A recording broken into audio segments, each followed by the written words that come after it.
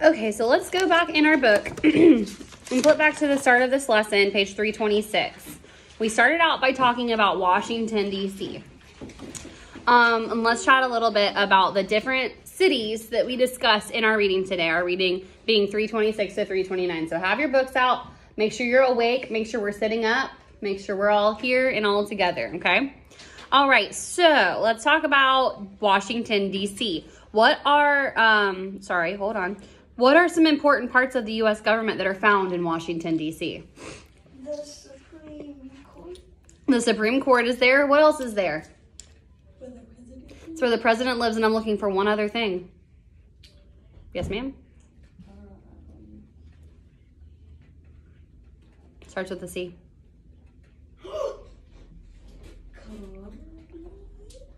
Nope. Congress. So, New York, or not New York, wow. Washington, D.C. is home to the president, Congress, and the Supreme Court. What does Congress do in Washington, D.C.? Meet to make laws. Yes, meets and makes laws for the country. Very good, very good. So, why are some southeastern cities among the oldest in the nation? Why do y'all think that is? Because they were founded in. Because what is it? The Great Revolution. Yeah, so the um, United States was actually, it began in the southeastern part of our country. So you've got to think, if it began in the southeastern part of our country, then all of these old cities have been here for a really long time. Yes, St. Augustine, very old city. Very good. Who gave land to the U.S. government to be the nation's capital? Maryland and. I think Virginia. You were correct. Yes, ma'am. So Maryland and Virginia gave that land over um, to be the nation's capital. Washington, D.C. is the name of the capital. Is it a part of any state? No. No. Washington, D.C., District of Columbia, the D.C. stands for District of, District of Columbia. It is not a part of any state. It's settled right between Maryland, Virginia area, but it is its own thing, okay? So Washington, D.C., it's its own state. It's governed by its own thing, and it fills up the entire District of Columbia. Um, oh, we talked about that. So let's look at page 327. Let's talk about Richmond, Charlotte, and Charleston. What is the capital of Richmond? Vir- what? Dang it! What is the capital of Virginia? Everyone can tell me this. Richmond. Richmond. I love when I give the answer. Very good. Um, why is Richmond important to U.S. history? What's so important about Richmond, Virginia? Beautiful? Because many Civil War battles were fought here. Mm-hmm. Uh, it was a big part of the Civil War. And Patrick Henry gave a very, very famous speech there. Damien? Give me liberty death. Mm-hmm. It's a very famous speech. Give me liberty or give me death. Um, what? Which one? Which one of these cities um, is the country's most important banking center? Beautiful. Charleston. No. Yeah. Haley. Charlotte. Charlotte. Yes. So it kind of goes against what we learned in phonics, when the ch says ch. Charlotte.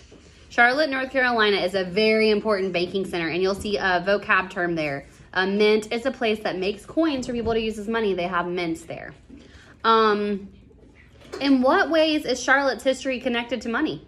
What? How did they? How did they get connected with money from way back when? Jordan? Well, the coins they have mints. Yes. Hey, can I check her ball bag real quick? hmm I have no idea. Um, I don't know that she actually has one. So I, oh. I don't know. Yeah. Um, yeah. So they have, but it goes back to the history of it. Way back at the beginning of Charlotte, what was it? Beautiful. Yeah. So way back when, um, Charlotte actually was home to gold mines, which is pretty interesting. Um, and then of course, just like Jordan told us, guys, eyes on me. Just like Jordan told us, there was, no problem. Um, there was a mint where they made the coins as well. Um, let's see. Ooh, what makes Charleston, South Carolina, one of the South's oldest towns? Damien, it? when was it settled? I'm still on you. uh, 16, 1600. Yes. So it makes it the oldest city. Oh, Elijah and Donovan, heads up off the desk. Put your hands in your laps. Put your hands in your laps so you're not willing, you're not tempted to lean. You're still leaning. Yeah, there we go. That helps us sit up straight and pay attention. So yeah, uh, it was founded way back in the 1600s. So it makes it one of the South's oldest towns. Where was Charleston settled? Beautiful. Um, did you say where? Mm-hmm. I thought you said okay. It was settled in the late 1600s. Where?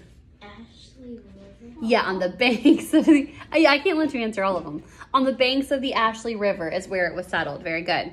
Um, but um, bum bum. Moving on. What did a good harbor help Charleston become?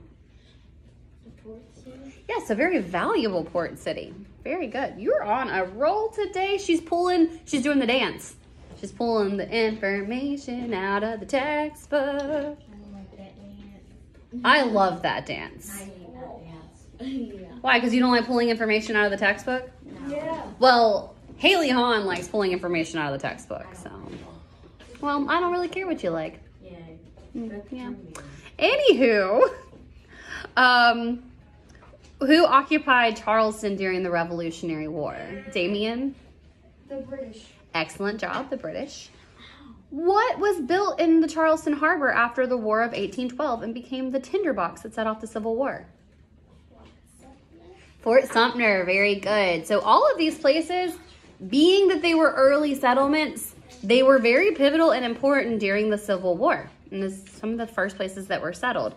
Um, and a lot of these places are just a few hours away from here. Like Charlotte, or sorry, Charleston's only like five hours away from here. We're going to flip over though. And we're going to talk about a place that's only a couple hours away from here, and it's one of my favorite places Savannah, Georgia. No, Savannah, Georgia. Uh, what is an active southern port city in Georgia? That would be Savannah. Uh, when and how was Savannah founded? Ronaldo. It was built in the 1700s. Mm-hmm. By who? Uh, uh, by James Hope. I'm on her now. Oh. Oglethorpe. Everyone say Oglethorpe. It's a fun word to say. So it was founded in the early. It was founded in the early 1700s by James Oglethorpe. What was special about Savannah? There was something special about the design. Oh, you He laid out a special design for it. hmm And what was that special design, Jordan? The square. Yeah, okay, so, and I've seen these squares. It's very, very cool. And if you ever have a chance to go visit Savannah, I highly recommend that you do. It's very beautiful. Um, so he had the town situated. It would be divided into sections or wards, and at the center of each section was a square. Um, and these would have a city park, a garden, something there. And north and south of the square were areas for people to live. East and west were for shops and businesses. And let me guys, let me tell you guys what, it's still like that today. It's still set up with all of the squares. It ended up being, it started with four squares and wound up being 22 squares. Oh, wow. Yeah, so as it grew, they continued to follow the uh, design of James Oglethorpe. Yes, ma'am. Do the square, like, do you actually see the squares, like, where they have? You can, um, yeah, like you can basically tell it is square. A lot of them are like, you know, you've got, oh, sorry, video. you have something sat in the middle, a garden, a park, something, and then there's something here, something here, and something here. So you've got homes and then you've got shops. And it's pretty much still like that today. So I do highly recommend visiting. Tell your parents, say, I don't want to go to the beach. I want to go to Georgia. I didn't enjoy it. I don't. Um, let's talk about Atlanta. Um, where was the location of Atlanta, Georgia? How did it start out in the 1830s? Beautiful. Two railroad lines? Yes, very good. Um, at the junction of two railroad lines. How and when was Atlanta destroyed? Damien? It was destroyed by the Union Army. Mm-hmm. When when did that happen, Haley Khan? The 1860s. Yeah, in the 1860s. What was Atlanta rebuilt as? What did they call it after it was rebuilt? The New South. Yeah, they called it the new, uh, the city, a city of the New South. In the post-war years, what did Atlanta grow to become? Mm, Jordan? Yeah, it became a very important economic center. Um, which civil rights leader's home was in Atlanta? Damien? Martin Luther King Jr. Very good. Well, what else is Atlanta known for? Oh, It's got a very busy something. Beautiful. Airport. Airport. Yes, it's got a very busy airport. I've flown through that airport and in and out of that airport before. And one time I had to fly into that airport and I had my flights had been delayed. I was coming back from Colorado and I hadn't eaten anything in like 24 hours. And they have a Carrabba's in that airport. And I ate my entire bowl of spaghetti all by myself. And I don't ever do that. It was so good. And so now every time I think of Atlanta Airport, I think of eating a giant bowl of spaghetti. Who likes spaghetti? Me. I'm eating spaghetti for dinner tonight. That's how much I love spaghetti. Um, and like I told you guys last week, Atlanta also has lots of movies made there. Um, some of the Avengers movies have been made in Atlanta, so it's a it's a source of economic growth and wealth. Um, it's a very big city, but they also film some movies there. So fun little fact about Atlanta. Let's talk about the last two cities that we read about in our reading uh, New Orleans and Memphis, Tennessee. So, what type of land does New Orleans sit on? The Delaware of the Mississippi. The delta of the Mississippi River. Um, delta is going to be one of your terms you'll be looking up, but it is a type of land, and you are getting your vocabulary words today. And I'm assigning you your state projects. Yes. Okay, what? Where does a delta form? Where does a delta form? Damien? Where the river flows into a large body of water. Yes, very good. What do we know about the history of New Orleans? Beautiful? It was founded in the early 1700s by the French settlers. Very good, very good. It was founded in the early 1700s by French settlers. So, because it was founded by French settlers, there are still a lot of French um, influences in New Orleans today. They have some of my favorite food on the earth. Yes, ma'am. Um, the Princess and the Frog took place in Yes, and The Princess and the Frog is one of my favorite movies. I love it, and it did. It's it took. It's like a. It's very New Orleans, and there's a lot of French influence. And one of my favorite foods is called beignets. They're it's pieces of dough, and they throw them in a deep fryer, and they get real nice and soft, and then they cover them in powdered sugar, and you can dip them in stuff. Yeah. They're like fancy donuts. They're phenomenal. So I actually right now I'm looking up a recipe for them to see if I can make homemade beignets because I want I love food of the South. So I would love for us to be able to sample some food from the South. And what's really crazy about food from the South is you have things like hold on one second. You have things like New Orleans where you've got all this like French influence and you've got food like beignets and there's Creole food, there's like gumbo, there's jambalaya. Hold on one second. But you also have places like Memphis. Memphis is really known for its barbecue. So a lot of places in the South are known for its barbecue, but Memphis is very much known for its barbecue. Nashville is known for its hot chicken. I love hot chicken. So I like food and I like talking about food, clearly, since I've talked about spaghetti, beignets, and you know, now, you know, b- barbecue. So, um, yeah. You got to think about how different and diverse the Southeast region is because you've got places like New Orleans that still to this day is really influenced heavily by being founded by the French in the 1700s. Um, America actually acquired that land with the Louisiana Purchase. Okay. In what ways, sorry, in what way is New Orleans port important to the city? How is it important to the city? How is the port important to the city? Jordan? They do ship things and that that helps. Beautiful? It's a central part of its economy. Yeah, so because of the shipping and because of the boats, it's a central part of the economy. That's exactly what I was looking for. What is another major part of the economy here? People go and visit, and they're called tourism. Very good, very good.